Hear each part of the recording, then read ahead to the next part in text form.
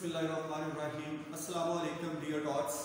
Welcome to DSCS semester 1 in calculus and analytical geometry. ये subject हम discuss कर रहे हैं यहाँ पे, ठीक है तो फ्रेंड्स इससे पहले हमने कॉम्प्लेक्स नंबर को डिस्कस किया कॉम्प्लेक्स नंबर के बाद हमने डिमोवस थ्योरम का प्रूफ किया उस प्रूफ के अंदर हमने एम फॉर पॉजिटिव इंटीजर्स और एम फॉर नेगेटिव इंटीजर्स हमने दोनों को प्रूव कर लिया उसके बाद स्टूडेंट्स हमने इसकी एप्लीकेशंस देखी कि इसका इस्तेमाल हम किस तरह कर सकते हैं। तो होप्सो स्टूडेंट्स आप जो पिछले लेक्चर गुजर चुके हैं आपको इनको किया होगा थोड़ी बहुत प्रैक्टिस भी आपने की होगी। तो आज हम एप्लीकेशंस को विद एग्जांपल थ्रू एग्जांपल हम इसको सॉल्व करते हैं कि डिमोवस थ्योरम हमें प्रैक्टिकली किस तरह हमारे लिए हेल्पफुल साबित हो सकता है। तो स्टूडेंट्स मैंने यहाँ पे कुछ वैल्यू ली एक एग्जांपल ली है one plus iota whole power eighty. Friend जैसे कि हमने पहले छोटी क्लास में पढ़ रखा है ए प्लस बी का होल स्केयर जो है, वो equal to A square plus two A B plus B square इस तरह ए प्लस बी का होल क्यूब है is equal to A cube plus three A square B plus three A B square plus B का cube तो यहाँ तक तो हम इजीली ओपन कर सकते हैं, हम ओपन करते हैं पहले से भी. तो स्टूडेंट लेकिन जब पावर इंक्रीज करना शुरू हो जाएगी four five six seven eight nine ten तो it is so difficult for us कि हम इसे ओपन नहीं कर सकते। अगर ओपन करेंगे भी हम with the help of computer तो ये कैलकुलेशन इतनी ज़्यादा हो जाएगी कि हमारे लिए इस कैलकुलेशन को समझना अंडरस्टैंड करना, उसको एक्यूरेट रखना हमारे लिए मुश्किल हो जाता है। तो स्टूडेंट डीमोवस थ्योरम जो है, हमारी इसी जो कैलकुलेशन का बर्डन है, इसको मिनिमाइज करता है। इसको काफ़ी हद तक सॉल्व कर देता है। तो आइए इस एग्जांपल से हम देखते हैं कि with the help of De Moivre's theorem हम इस प्रॉब्लम को किस तरह सॉल्व करते हैं। तो स्टूडेंट्स लेट कर लिया हमने let z equal to r into cos theta plus iota sin theta let x equal to 1 है y equal to 1 r equal to इसका मैग्नीट्यूड लेंगे हम तो x square plus y square under root value put करेंगे x equal to 1 y equal to 1 1 का square plus 1 का square तो students 1 का स्क्वायर 1 होता है और 1 का square 1 1 plus 1 whole under root तो ये आएगा two under root is equal to R R की वैल्यू आपके पास आ जाएगी two under root now we want to define the value of theta अब हम थीटा की वैल्यू जानना चाहते हैं कि थीटा की वैल्यू क्या आएगी. तो स्टूडेंट्स मैं वही मेथड अप्लाई करूँगा जो हम ऑलरेडी क्लास में, जब हम फ़िज़िकल क्लास पढ़ रहे थे, जो मेथड हमने वहाँ पे यूज़ किया तो हम यहाँ पर भी उसी मेथड के थ्रू सॉल्व को सॉल्व करेंगे. तो students you know very well tan theta theta is equal to tan inverse y by x. ये आपका फार्मूला है। एंगल को डिफाइन करने का। तो theta is equal to tan inverse y की वैल्यू वन x की value one one by one क्या आ गया यहाँ पे? वन बाय वन तो students theta is equal to tan inverse one by one one he answer आएगा। तो स्टूडेंट टेन इनवर्स वन पे टेन इनवर्स की वैल्यू क्या होती है? वन पे जो टेन इनवर्स होता है, वो होता है पाई बाय फोर यानी इसकी वैल्यू होती है फोर्टी फाइव कितनी वैल्यू होती है स्टूडेंट्स की?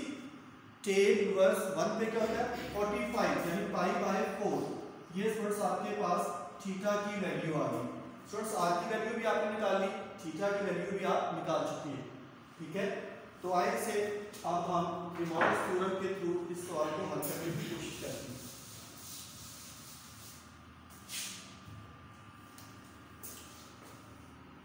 Students one plus iota whole power N R into cos theta iota plus sine theta whole power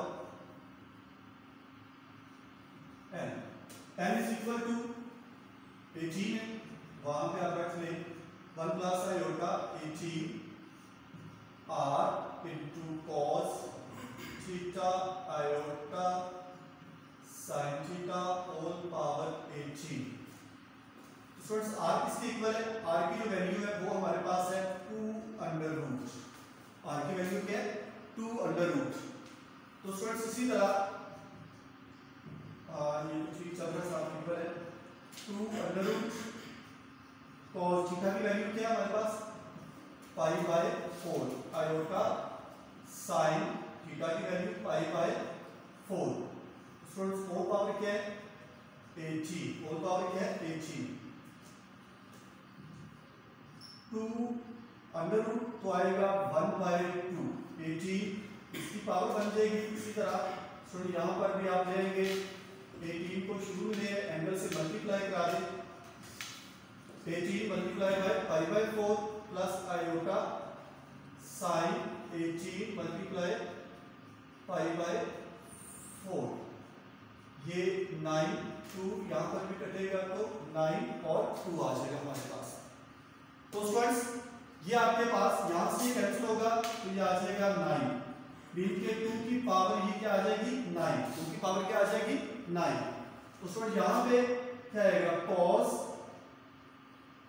nine pi by two cos की वैल्यू क्या आएगी नाइन पाई बाय टू तो students यहाँ पे क्या आएगा iota sine nine pi by two तो students यहाँ पे ये हमने इसकी वैल्यू निकाल ली आगे देखिए जरा टू की पावर नाइन यहाँ पे स्टूडेंट्स आप इसे लिख सकते हैं। Four pi plus pi by two iota sine four pi plus pi by two. आप इस वैल्यू को इस तरह स्प्लिट कर सकते हैं, इसको अलग कर सकते हैं। इसका दोबारा एल्सियम लेंगे तो ये नाइन पाई बाय टू ही आपके पास वैल्यू आ जाएगी। तो स्टूडेंट्स आप जानते हैं कि कार्टेशियन के अंदर आपने देखा है कि एक सर्कल मुकम्मल होता है पाई बाय टू स्टूडेंट जब पाई बाय टू होता है वैल्यू दोबारा चक्कर लगाकर सर्कल अपना पूरा करके जब एक्स एक्स पे आती है तो ये ज़ीरो हो जाती है। अगेन यहाँ सर्कल शुरू होता है, दोबारा जब यहाँ आएगा तो ये ज़ीरो तो इट्स मीन फोर पाई क्या हो जाएगी ज़ीरो अपने क्योंकि ये सर्कल मुकम्मल है। बाकी क्या बचेगा? Pi by two nine two की power nine cos pi by two plus iota sine pi by two pi by two it's mean ninety cos 90 पे क्या होता है? स्टूडेंट्स कॉस 90 पर ज़ीरो होता है। कॉस 90 पे क्या होता है? ज़ीरो ये आएगा टू की पावर नाइन ज़ीरो आयोटा और स्टूडेंट साइन 90 पे वन साइन 90 पे क्या होता है? वन होता है। तो यहाँ पे साइन की वैल्यू क्या आ जाएगी? वन आ जाएगी। ठीक है? तो स्टूडेंट्स ये आ जाएगा आपके पास टू की पावर नाइन आयोटा इसका जवाब आपके पास आ जाएगा स्टूडेंट देखिए कि ये कैलकुलेशन कितनी आसानी के साथ हमने कंप्लीट कर ली है। अगर ये हम a प्लस बी के फार्मूले से करते हैं तो ये इतनी बड़ी, इतनी बुलक मिकदार में होती कि ये वाइट बोर्ड कम पड़ जाता।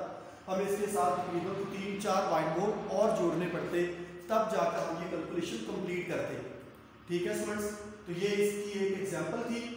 के थ्रू जो हमने हल की। स्टूडेंट कुछ आपको मैं असाइनमेंट दे रहा हूँ, जो आपने खुद से करनी है। कुछ वैल्यू नोट कर ले आप। मैं यहाँ पे लिख रहा हूँ। One plus iota power thirty के साथ आप इसे सॉल्व करेंगे। मैं वैल्यू सेम दे रहा हूँ।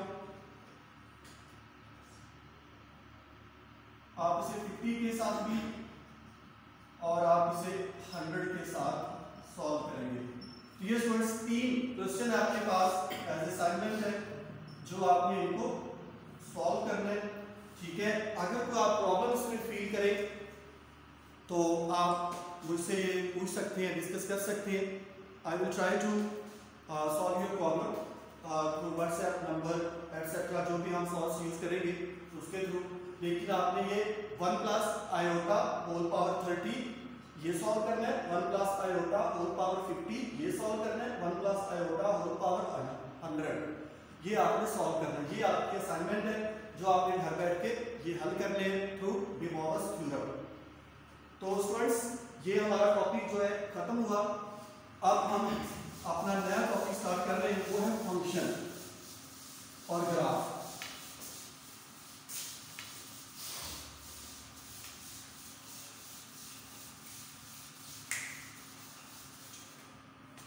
first of all students function क्या होते हैं?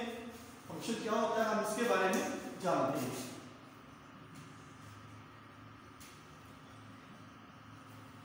फ़ंक्शन हम लेट कर लें। Let A and B suppose किया A and B be any two be any two non non empty set ये नॉन एमिटी सेट है हमारे पास ए और बी तो एफ़ एक फ़ंक्शन है एफ़ एक फ़ंक्शन है is binary F is a binary relation F के एक बाइनरी रिलेशन है बाइनरी रिलेशन क्या होता है? वन टू वन का जो फ़ंक्शन होता है, इसको हम बाइनरी रिलेशन बोलते हैं। वन टू वन का जो रिलेशन होता है, या पेयर होता है, उसको क्या बोलते हैं आप? बाइनरी रिलेशन क्या बोलते हैं उसे? बाइनरी रिलेशन ये एक हमारे पास बाइनरी रिलेशन है। फ्रॉम कहाँ से लेकर from set A to B ये एक बाइनरी रिलेशन हमारे पास है from set A to B set A से लेकर सेट बी तक। अगर ये है कहता देन एफ़ जो फ़ंक्शन हमारे पास, जो एफ़ फ़ंक्शन है देन जो हमारे पास है फ़ंक्शन है इज़ कॉल्ड से क्या बोलेंगे? इज़ कॉल्ड फ़ंक्शन से क्या बोलेंगे आप? Is called function from is called function from A to B called function from A to B if if का मतलब होता है कंडीशन इफ़ का मतलब क्या है? कंडीशन के नीचे कुछ कंडीशंस दी जा रही हैं। अगर ये उन कंडीशंस को फॉलो करेगा, उन कंडीशंस को फुलफिल करता है तो हम कहेंगे this is a function otherwise ये फ़ंक्शन नहीं होगा। अगर इन कंडीशंस को ये फुलफिल नहीं करेगा तो ये फ़ंक्शन नहीं होगा। पहली कंडीशन क्या है इसकी? डोमेन एफ़ जो है is equal to A F की जो डोमेन है वो किसके इक्वल होनी चाहिए? ए यानी पहले सेट के इक्वल पहले सेट के जो भी एलिमेंट्स हैं, वो सारे के सारे क्या हो? डोमेन वो सारे के सारे क्या हो? डोमेन हो. ठीक है? उसमें दूसरी कंडीशन की क्या है? सेकंड कंडीशन है, कहता है in binary relation F every element of set A is attached only one element of set B यानी ए का जो हर एक एलिमेंट है, वो सेट बी के हर एक एलिमेंट के साथ अटैच है। दूसरी कंडीशन क्या है कि सेट ए जो आपके पास है सेट ए जो है, इसका जो एवरी एलिमेंट है, यानी every element attach with the every element of set B यानी सेट ए का जो हर एक एलिमेंट है, वो सेट बी के हर एक एलिमेंट के साथ जुड़ा हुआ हो मुंसलिक हो।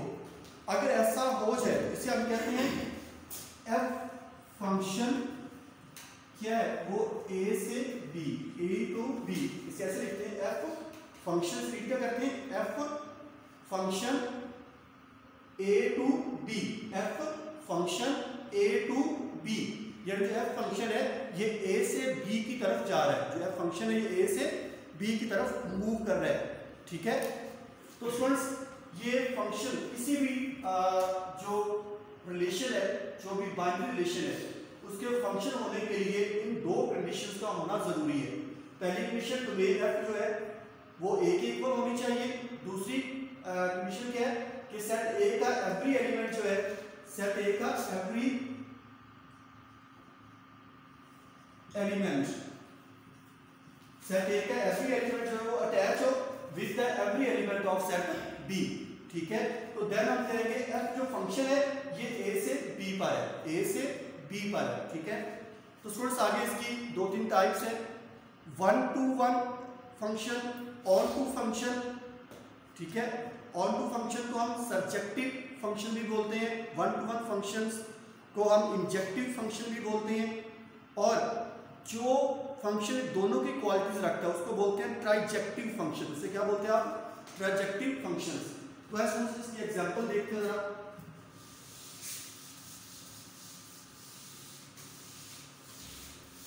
जी स्टूडेंट्स सबसे पहले हम देखते हैं ऑन टू फ़ंक्शन इसी में हम यूज़ करते हैं। Onto function onto function या इसे बोलते हैं सब्जेक्टिव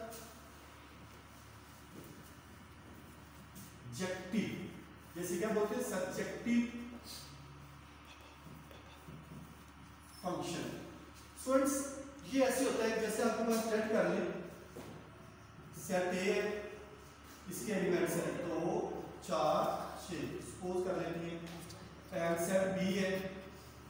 इसके एलिमेंट्स आपके पास ए बी सी ये इसके एलिमेंट्स हैं, ठीक है? हम इसकी मैपिंग करवाते हैं। तो mapping two four six A B C students अगर आप टू को ए पे मैप करें और फोर को बी पे मैप करें और सिक्स को सी पे मैप करें। तो ये फ़ंक्शन क्या होगा? ऑन टू फ़ंक्शन क्या होगा ये? ऑन टू फ़ंक्शन क्यों? कि सेट बी के अंदर ये सेट ए है, ये सेट बी है। सेट बी के अंदर हर एलिमेंट की प्री इमेज सेट बी के एवरी एलिमेंट की सेट ए बी के हर एलिमेंट की जो प्री इमेज है, वो सेट ए में मौजूद है। सेट बी के हर एलिमेंट की जो प्री इमेज है वो सेट बी में ए में मौजूद है। इसकी फ़ंक्शन क्या बोलेंगे आप? वन टू वन फ़ंक्शन क्या बोलेंगे इसे? One to one function student second होता है सॉरी ऑन टू फ़ंक्शन क्या बोलेंगे इसे? ऑन टू फ़ंक्शन तो स्टूडेंट सेकंड जो होता है, वो होता है one to one function friends को समझ लेते हैं, हमारे पास सेट ए है। वन टू थ्री यूज़ के एलिमेंट्स हैं। सेट बी है। यूज़ के एलिमेंट्स हमारे पास है ए बी सी डी तो इसकी मैपिंग करवा लेते हैं हम।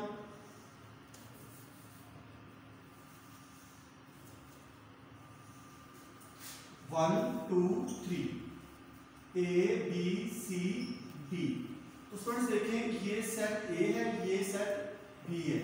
यहाँ पर देखें ये वन ए पे टू बी पे थ्री सी पे। तो ये फ़ंक्शन क्या है? वन टू वन या वन टू वन और है। लेकिन इसमें इसमें फ़र्क क्या है? इसमें होता है कि जो जो ऑन टू फ़ंक्शन फ्रेंड्स इसके अंदर बी के अंदर कोई भी एलिमेंट खाली नहीं रहना चाहिए। बी के अंदर कोई भी एलिमेंट खाली नहीं रहना चाहिए। बी के अंदर जितने भी एलिमेंट्स हैं उन सभी एलिमेंट्स की जो प्री इमेज है, वो ए के अंदर होनी चाहिए। बी के अंदर जितने एलिमेंट्स हैं, उन सभी की प्री इमेज ए के अंदर होनी चाहिए। जबकि वन टू वन फ़ंक्शन जो है, उसके अंदर every distinct element of A every distinct element of A जो है, वो every distinct element of B के साथ मैपिंग करता है, ठीक है? लेकिन ये लाजमी नहीं है कि बी के अंदर जितने एलिमेंट्स हैं सभी की प्री इमेज ए के अंदर मौजूद हो। जिस तरह देखिए ए की प्री इमेज वन है बी की प्री इमेज टू है सी की प्री इमेज थ्री है, जबकि डी की प्री इमेज यहाँ मौजूद नहीं है। ठीक है? इसे बोलेंगे आप वन टू वन फ़ंक्शन तो स्टूडेंट्स तीसरा हमारे पास, वो है ट्राइजेक्टिव फ़ंक्शन है ट्राई सॉरी बाइजेक्टिव बाइजेक्टिव तो स्टूडेंट बाइजेक्टिव फ़ंक्शन वो होता है, जिसके अंदर ये दोनों क्वालिटीज पाई जाए। सब्जेक्टिव भी मौजूद हो और वन टू वन यानी इंजेक्टिव भी मौजूद हो। यानी ऑन टू फ़ंक्शन और वन टू वन फ़ंक्शन दोनों की क्वालिटीज जिसके अंदर इंक्लूड होगी, उसे हम बोलेंगे बाइजेक्टिव फ़ंक्शन उसे क्या बोलेंगे आप? बाइजेक्टिव फ़ंक्शन यानी function function which is one to one and on to a function which is both one to one and on to at a time is called bijective functions. तो students आज का हमारा lecture यहाँ पे ख़त्म होता है। इंशाल्लाह नेक्स्ट लेक्चर के अंदर हम ग्राफ फ़ंक्शन के ग्राफ ड्रॉ करना सीखेंगे। स्टूडेंट्स इसके साथ ही आ, मुझे इजाज़त दें। अल्लाह हाफिज़।